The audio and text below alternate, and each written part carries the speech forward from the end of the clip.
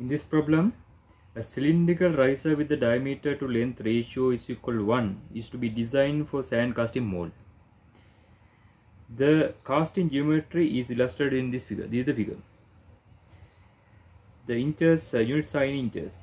If the mold constant is equal to 19.5 minute per square inches determine the dimensions of the riser so that the riser will take 0.5 minute longer to freeze than the casting itself okay. This is the casting. Okay this is the uh, casting. And this is the mold you can see. Then uh, this is the ladle. So then the mortar metal pours to this sprue. Then it enters to the main runner. Then it fills the riser cavity area and the product cavity area casting cavity area. Okay so then this uh, total solidification time of the riser should be greater than the point point point minute than the casting okay? In that way we have to design the riser riser height to length ratio is equal to 1 that means this kind of riser I have to design if the diameter of the riser is d it height also equal to d. So this kind of uh, riser have to uh, design. So in this problem we have to determine this uh, d. Okay? Okay. When you are going to determine the d first of all we need to calculate total solidification time of the casting. How to calculate that one? Total solidification time of the casting is equal to so i'm going to use the Chvorinov's rule to calculate this one. What is the Chvorinov's rule? Cm v divided by a into 2 okay. So then all the dimensions are given. First of all what is the cm? 19.5 minute per square inch. Okay. Then we have to substitute the total volume in the surface area total volume and the surface area all the dimensions of the casting is given. So then we can easily calculate the total volume and the surface area. So i will have that values. I will direct substitute that values.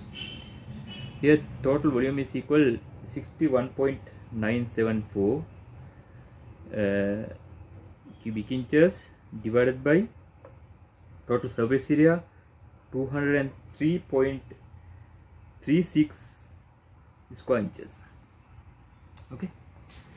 Then we can calculate the total solidification time of the casting by simplifying this equation. So i'll substitute that with the uh, units. So here the sorry square. So then we are getting the total solidification time of the casting as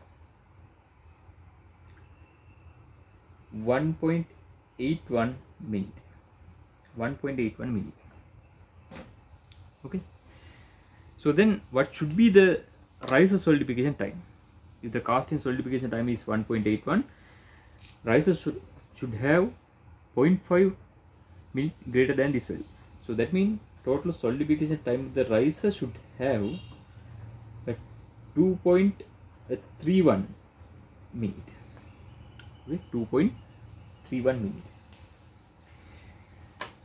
Then in that way we have to determine this uh, d dimension let me find the volume of this uh, cylinder. What is the volume? 5d divided by 2 into square plus uh, sorry square into uh, into d. The volume is equal 5d square divided by 4 into d. That is equal 5d into cube divided by 4 okay then uh, we can calculate the total so surface area. Total surface area is equal 2 times uh, 5d divided by 2 into square uh, plus 5d into d. Here uh, 2 5 d square divided by 4 uh, 5d square. Then the total surface area A is equal 35d square divided by 2 okay. Okay then uh, I'm going to uh, substitute these values in the Chvorinov's rule. Total solidification time of the riser is equal Cm yeah, let me write that down equation V divided by A into square this is the Chaurinus rule okay let me substitute the values what is the total solidification of time of the riser requa is equal 2.31 minute 2.31 minute then uh, mole constant is given in this problem the 19.5 minute per square inch. Okay. Then uh, volume of the riser 5d into cube divided by 4 divided by surface area 35 d square divided by 2 the square of total okay. Okay let me simplify this equation. Square. Yeah, uh, 2.31 divided by 19.5 let's take the square root. Let's take the square root. Is equal? Here let me simplify this one. D into 3 divided by 4 into 2 divided by 3 5 into d square so we can cut here it is 2 5 we can cut. The d square so we can cut here d. That means this is equal to uh, d divided by 6 okay? By making the d into subject uh, we can calculate that value.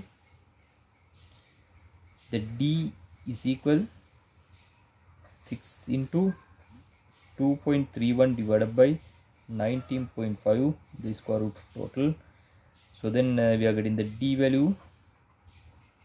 d value is equal 2.065 inches. Okay. That means if we design the riser which having the height is equal to 2.065 inches and its diameter is equal to 2.065 inches. So then we can get the solidification time as uh, 2.31 for the riser. That is greater than uh, 0.5 minute greater than the casting solidification time. Okay? This is how we are solving this problem. Okay thank you